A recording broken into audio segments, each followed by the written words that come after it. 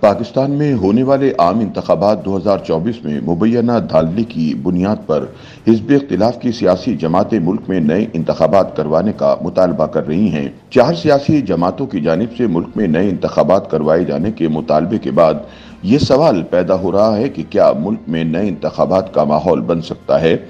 اس بارے میں سیاسی مبصرین کا کہنا ہے کہ حزب اختلاف کی جانب سے نئے انتخابات کا مطالبہ کوئی نئی بات نہیں۔ اسٹیبلشمنٹ کی حمایت حاصل ہونے کی وجہ سے حکومت اس مطالبے کو سنجیدہ نہیں لے گی۔ خیال رہے کہ سنی اتحاد کونسل تو انتخابات کو دھاندلی زیادہ قرار دے کر شروع سے ہی نئے انتخابات کا مطالبہ کرتی آئی ہے، تاہم اب جمیت العلماء اسلام فیق سربراہ مولانا فضل الرحمان نے بھی ایک مرتبہ پھر دوبارہ الیکشن کروانے کا مطالبہ کر دیا ہے۔ اس کے علاوہ عوامی نیشنل پارٹی نے بھی پیر کے روز پشاور میں پریس کانفرنس کرتے ہوئے انتخابات کروانے کا مطالبہ کیا ہے۔ مزید برآں جی ڈی اے کے مرکزی secretary general doctor Safdar Ali Abbasi نے بھی ملک میں نئے انتخابات کروانے کا مطالبہ کر دیا ہے۔ اب تک ملک کی چار سیاسی جماعتیں ملک میں نئے انتخابات کروانے کا مطالبہ کر چکی ہیں۔ ان سیاسی جماعتوں میں سنی اتحاد کونسل جمیت العلماء اسلام، فی، اے این پی اور جی ڈی اے شامل ہیں۔ پارلیمان میں اپوزیشن جماعت سنی اتحاد کونسل عام انتخابات کو دھاندے زدہ قرار دے چکی ہے۔ سنی اتحاد کونسل کا موقف ہے کہ حکمران جماعتوں کو عام انتخابات فارم سینتالیس کے تحت جتوائے گئے۔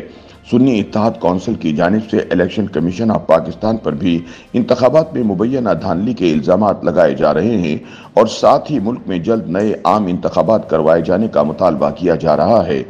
اتوار کو جے یو آئی کے سربراہ مولانا فضل الرحمان نے بھی ایک بار پھر ملک میں دوبارہ انتخابات کا مطالبہ کیا ہے۔ اسلام آباد میں پریس کانفرنس کرتے ہوئے ان کا کہنا تھا کہ شفاف انتخابات کی زبانت تک بنانے اور راضی کرنے کے الفاظ کے کوئی معنی نہیں۔ عوامی نیشنل پارٹی کے رہنما میاں افتخار حسین کے مطابق سب سیاسی جماعتیں متفق ہیں کہ انتخابات دھاندلی زدہ تھے۔ ان انتخابات نے ملک کی مشکلات میں اضافہ کر دیا ہے۔ انہوں نے کہا کہ اب نئے انتخابات ہی واحد حل ہیں۔ جی ڈی اے کے secretary general doctor Safdar Ali Abbasi نے اردو نیوز سے گفتگو میں کہا کہ ہماری جماعت ان انتخابات کو پہلے دن سے ہی مسترد کر چکی ہے۔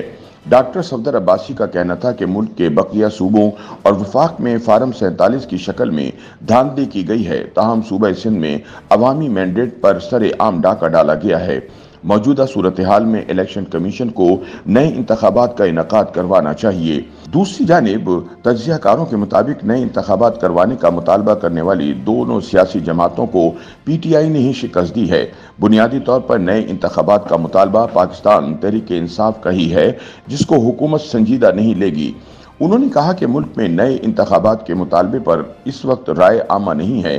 سوشل میڈیا کی حد تک تو ان مطالبات میں زور ہوگا، تاہم نئے انتخابات کا فیصلہ عوامی حلقوں میں کرنا ہے۔ ملک میں مہنگائی کی صورتحال اور سیاسی افراتفری کے انتخابات کے انعقاد پر اثرات کے بارے میں نظیر لغارک نے گفتگو کرتے ہوئے کہا کہ اگر حکومت اپنی کارکردگی سے ملک کے مجموعی حالات کو بہتر نہیں بنا سکی، تو پھر دو سے چار دن بعد نئے انتخابات کے مطالبات زور پکڑ سکتے ہیں، جن کا حکومتی اتحاد میں موجود سیاسی جماعتوں پر بھی اثر پڑ سکتا ہے۔ تجزیہ کاروں کا ماننا ہے کہ حزب اختلاف کی جماعتوں کی جانب سے نئے انتخابات کا مطالبہ کوئی نئی بات نہیں۔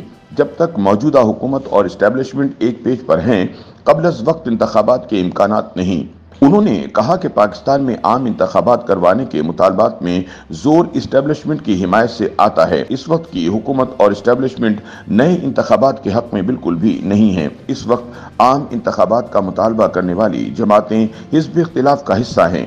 اپوزیشن جماعتیں عام انتخابات اور حکمران مخالف مہم چلاتی رہتی ہیں۔